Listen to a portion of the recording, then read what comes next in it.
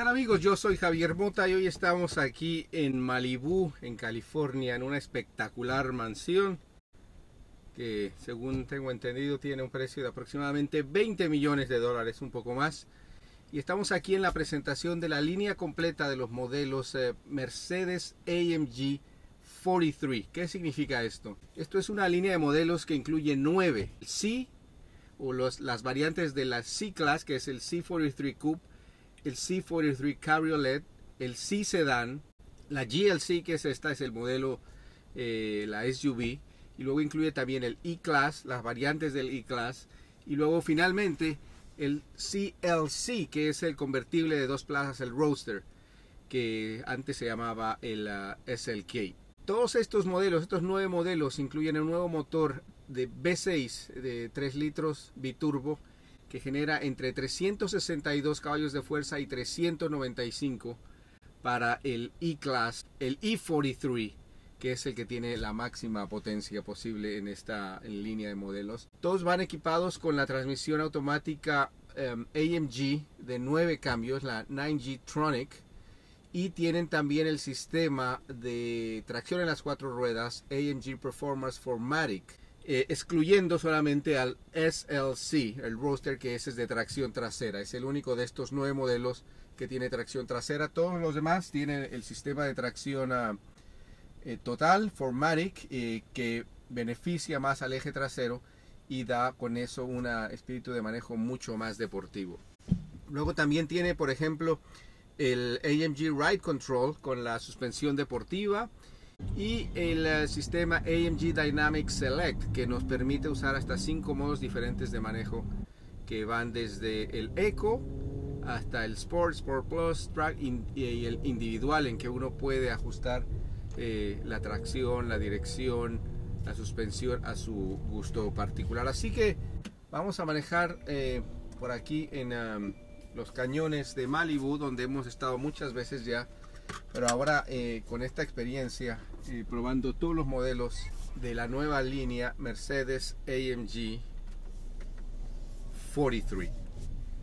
Como todos los modelos eh, de Mercedes-Benz y los modelos de la gama de alto desempeño AMG, esta nueva línea E43 cuenta con lo más avanzado en tecnología de seguridad, entretenimiento, comunicación, conectividad a Internet y el diseño característico de la Mercedes-Benz en el interior que es sumamente lujoso y muy bien ah, ah, logrado.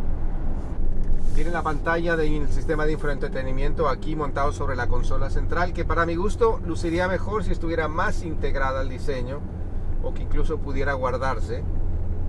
Luego los terminados en maderas muy finas, en este caso con terminación natural, detalles en aluminio, el volante multifunción, aquí donde se pueden controlar prácticamente todos los sistemas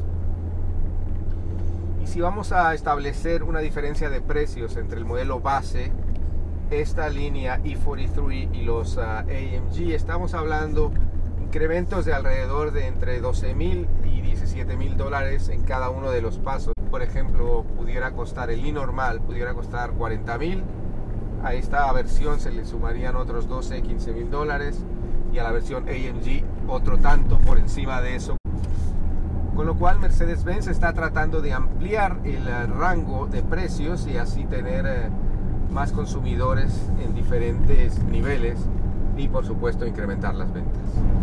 Y aunque no se trata de las versiones de más alto desempeño, esta aplicación de, de algunas partes de la tecnología AMG de alto rendimiento sí nos permite disfrutar de una gran potencia, una gran respuesta, la tracción en las cuatro ruedas, la suspensión deportiva, hacen que estos vehículos en realidad se transformen, sobre todo cuando uno emplea los modos de manejo, que como dije inicialmente tenemos desde el Eco, que es el más...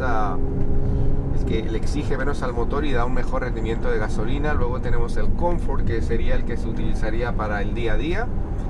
El Sport, donde ya se empieza a incrementar la respuesta del acelerador los cambios de las velocidades se prolongan un poco más para llegar al máximo de las revoluciones por minuto. El Sport Plus que ya alcanza un rendimiento prácticamente para competencia y el individual en que se pueden ir ajustando cada una de las características de manejo de estos uh, modelos Mercedes AMG E43.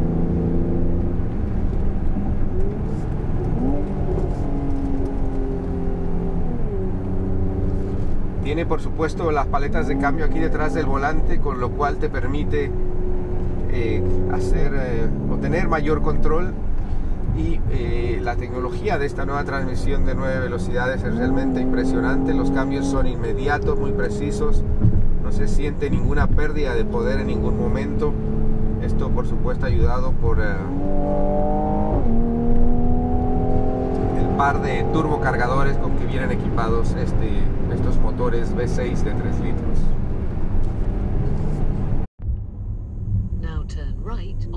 Pacific Coast Highway. Bueno, terminamos ya con la sesión de pruebas de manejo de la línea E43 de AMG. Y esta es una parte de la estrategia de Mercedes-Benz para seguir manteniéndose en el número uno de ventas de autos de lujo aquí en Estados Unidos, que había perdido ante BMW en 2015, recuperó el año pasado.